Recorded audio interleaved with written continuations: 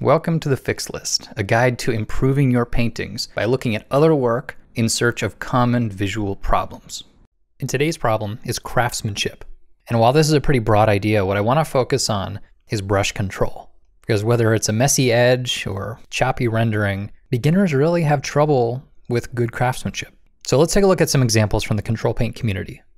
This one here suffers from a classic problem. It still has lines. And it has lines in a style that to me doesn't look like it's really supposed to have lines. They're just still here. Well, here's the secret. Lines do not exist. Line is an artist's shorthand, but if what you're doing is rendering with light and color, all lines do is really kind of destroy the illusion. So in my paint over, all I've done is remove the lines. What we're left with is not a finished painting by any means, but you can see these areas here look so much more like believable forms. One more time, here's before. You can see we have sort of a muddy edge with a line and then another area of color. I've sharpened up that edge and I've made sure we're just working with areas of tone meeting up next to each other. So an edge is just one area of color bumping into another area of color. There's no black line separating the two. It's a pretty simple idea, but it takes some practice to get here. But one more time, here's the original, and here's my paint over. Getting rid of those lines really helps it move from drawing to painting. This right here is another common problem. And what we see here is texture overwhelming form, as in the image feels sort of weirdly flat, even though there's all this nice rich texture. Well, the way I see it, texture is something you add on top of a solid painting. So for my paint over, what I decided to do was first to establish the big shapes with more definition. And this comes back to sort of strong light direction and clear edges so we can understand where one form ends and the next one begins. But there's still really not a lot of details. After that then, I'm able to go ahead and add details on top. And I really only got started here. If this were my painting, I would go much further. But the details and the texture overlays only work on top of a solid base that has a clear sense of form, light, and shadow. In the original, it didn't have a sense of three-dimensionality. It was pretty flat to begin with, and then the texture on top doesn't really add much. So one more time, here's before, and here's after. This image is more complex, but I think it suffers from the same exact problem. Here we have overlapping strokes that I think are supposed to indicate texture, but what they really indicate is just a bit of sloppiness. So once again, I'd advocate starting with a strong foundation and then adding details on top. So let's take a look at my paint over. And I'm actually just gonna do this one little square here. So we'll zoom into the square that I worked on. So you can see I first rendered it as if there was no surface texture. We can see here's before, the edges were a bit messy, and you can see all these visible brush strokes. So I cleaned up the edges, and I smoothed out the form rendering, paying attention to make sure my materials read as different from one another, and after I was satisfied with what I'll call the foundation, then I was able to add texture on top. And so we can zoom out and see here's the before and here's the after. Yes, it does still have lots of little textural strokes and lots of kind of detail elements on top. But in my opinion, that only works because it began with a solid form rendering and only then or texture strokes added on top.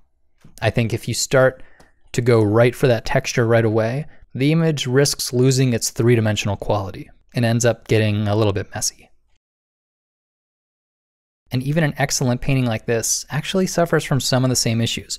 If we just look at the main wrestler here, it looks great. But I think consistency is a really important aspect of craftsmanship. And if we scroll down here, we can see that there are kind of messy brushstrokes visible on this foreground character. Now you could say, well, we're supposed to be looking at the focal point. And so the rest is sort of intentionally loose. And I'm not sure I buy that. When I look at the bottom here, I think it's actually just a little bit sloppy. So what I've done is I've begun by cleaning up the brush marks, sort of smoothing out the rendering. Now it got a little bit blurry here, but I'll fix that with the relighting. So that was two steps. We'll do that from the zoomed out view here. We had clean up the messy brush strokes, and then the light here doesn't quite match the light in the rest of the scene. We can see that he has a rim light and his body's in shadow because the lights are on the ceiling. Well, the same should be true for this character here, but he's much brighter, as if there was a light behind him. I'm going to have to assume that the lights are really only these ones on the ceiling. So my relighting puts him largely in shadow with a bit of that rim light. So here's the before, and here's the after. And in my opinion, the high quality of this character here should have extended to the entire composition because once we see a mistake, it can be hard to look at the good stuff because we're a bit distracted by it. Before, after. All right, and let's finish off with one of my paintings. When I look back at this older one, oof, I don't like looking at it. It's hard to look at your old work sometimes, and this one's a doozy. And the thing is, I like the background. The problem is all this stuff in the foreground. It's kind of sloppy, there's really no structure, the sense of light is a bit ambiguous. So in my paint over, I began by just blocking in solid shapes in the foreground. Sometimes in order to fix a painting, you have to remove detail and really solidify the big elements, sort of the initial read, and then add details on top. So my details did bring much more sort of photorealism back into it. But you can see here now I have very clear road, bushes, and then these metal structures. So we'll go to the before, which is this kind of vague and sketchy and really maybe gives an impression of a space, but it kind of falls apart when you start looking close. And then here's the after, which in my opinion has a much more consistent level of polish across the entire image. The great thing about craftsmanship is that you can always improve it. If you have time to work on a piece, you can make it better. And you'll know this is true just by pulling out something you made one or two years ago. It is amazing how much you can improve it. So give it a try.